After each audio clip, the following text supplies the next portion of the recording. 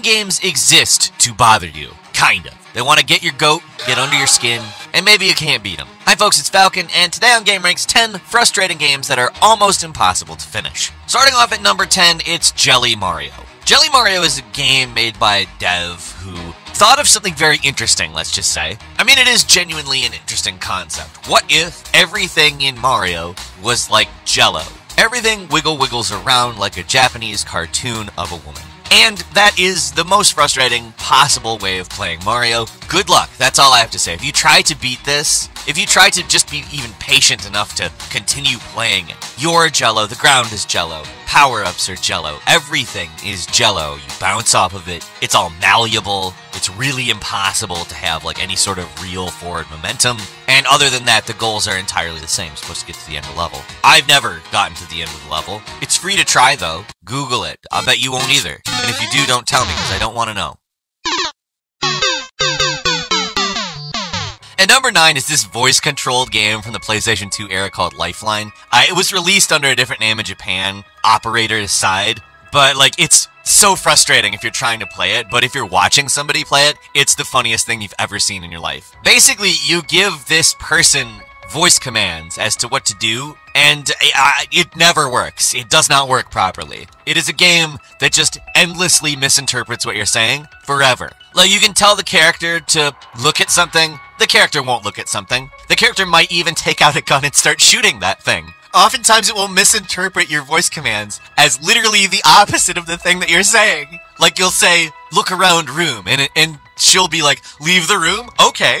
And I'm not joking, that's like her demeanor too. That's what it sounds like. I forgot about this game entirely, but doing research for this video, like I can remember a friend of mine bought it because they thought it was cool. Like you can use your voice. And I went over their house and no, you can't actually use your I mean, you have to use your voice, but the game does not actively care what you're saying, it seems like.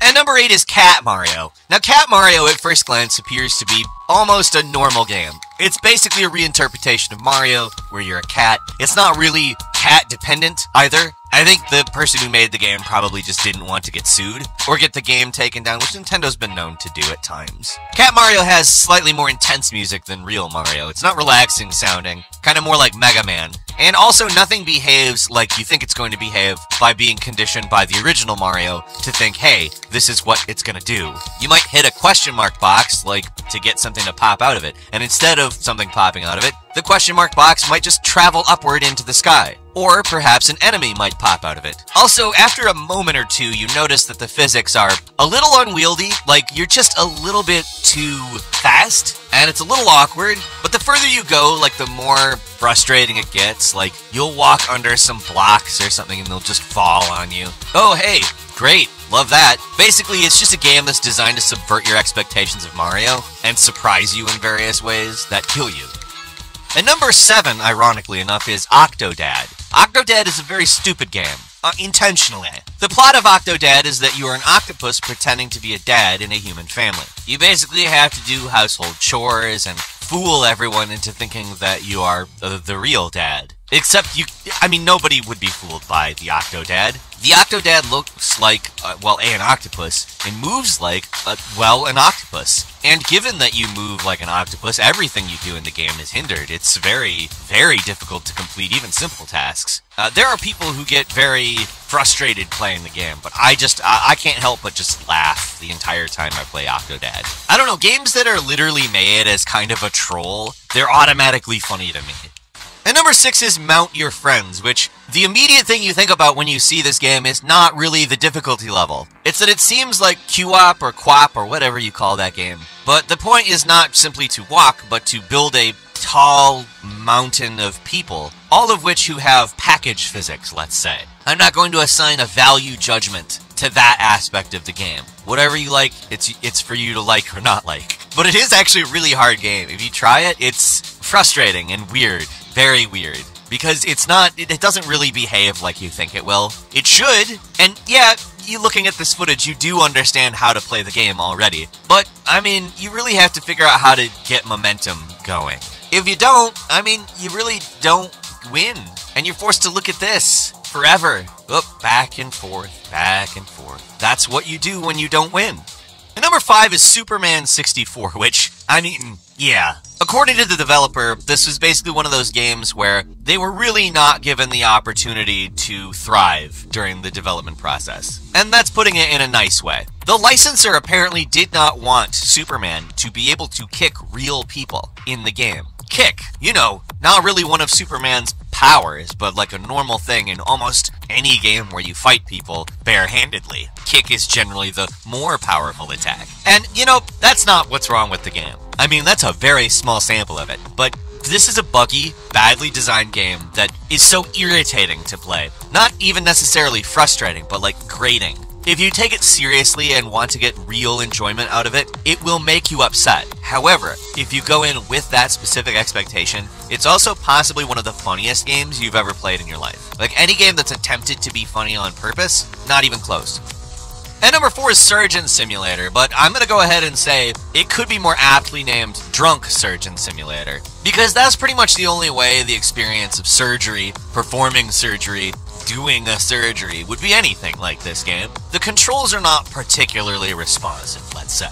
The game itself is designed around this idea that it's stupid. It's an intentionally stupid game. Or at least that's how I've always understood it. And viewing it through that lens has made it enjoyable for me. And to be fair, I have seen people take it seriously where they actually get good at it. Being good at it, by the way, is essentially just understanding the weird quirks of the controls of this game and being able to compensate for them. But it's not like Operation Unfair. The board game Operation is kind of unfair and very difficult, more so than it needs to be. But it's much more than that. It doesn't work right. And number three is QWOP. Like I said, I don't, I've never really known how to pronounce it. I've called it QWOP in the past, but it's apparently QWOP. QWOP is a very silly game. You basically have to try to walk. It is not a, like, accurate walking simulator. You have thigh and calf controls, and it does not work like you expect it to work. It doesn't work, in fact. I mean, it technically works. It does exactly what it sets out to do, but it's very difficult. It's very frustrating, and if you attempt to play it like you think it's probably supposed to be played, you're just gonna frustrate yourself. I mean, some people get good at it. I'm not gonna pretend that people don't, but it's not a game that, like, you need to count on beating in order to enjoy. And number two is Trap Adventure 2, which is very similar to Cat Mario in a lot of ways. Albeit it's a little less subversive and more just angry and punishing. Basically, it's, it's, I mean, the title accurately describes what it is. It's an adventure in which traps are abound. Every single movement almost seems to trigger a trap. Like I said, it's less subversive and more angry than Cat Mario. Cat Mario is frustrating, but Trap Adventure 2, it's, um, it's frustrating and a little bit demoralizing. I can get a laugh or two out of Cat Mario, but I don't out of Trap Adventure. And finally, at number one, it's Getting Over It with Bennett Foddy. This is a dumb physics game, in which you use a hammer to, I guess, traverse terrain.